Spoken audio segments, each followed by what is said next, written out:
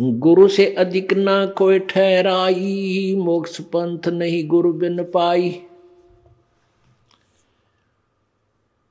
अब परमात्मा कहते हैं कि गुरु जी के बिना आपका कोई भी भक्ति मार्ग सफल नहीं हो सकता।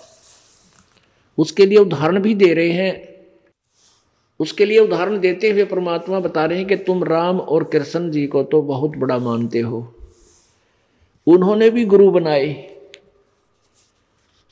श्री कृष्ण जी ने दुर्वासा जी को और श्री रामचंद्र जी ने वशिष्ठ जी को गुरु बनाया।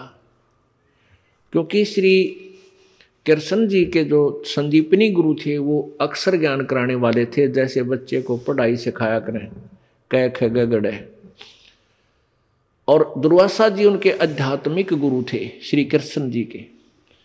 और वशिष्ठ जी श्री रामचंद्र जी के आध्यात्मिक गुरु और साथ में अक्सर ज्ञान गुरु दोनों ही थे।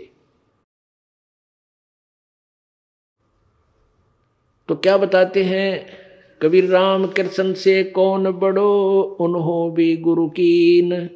तीन लोक के वे धनी ही गुरु आगे अधीन। राम कृष्ण बड़ राम कृष्ण बड़ती पुर राजा, तीन गुरु बंद कीन निज काजा।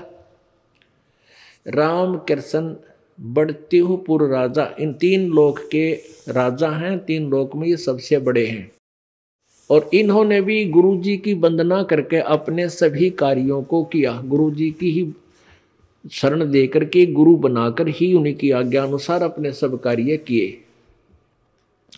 अब ये विचार कर लेना चाहिए, जब राम और कृष्ण जिनको हम भगवान मानते थे, उन्होंने भी गुरु बनाकर यहाँ से पीछा छुटवाया तो आप कौन से खेत की मूली हो के आप ना गुरु बनाओ और पार हो जाओगे?